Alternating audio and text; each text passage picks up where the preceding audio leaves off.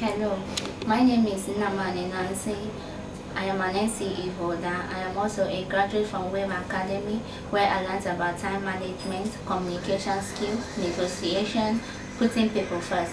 I believe that my skills will be an asset to this company and not a liability. My career goal in the next five years is that I hope to be a graduate. And one unique thing about me is that I love meeting people and I believe in myself.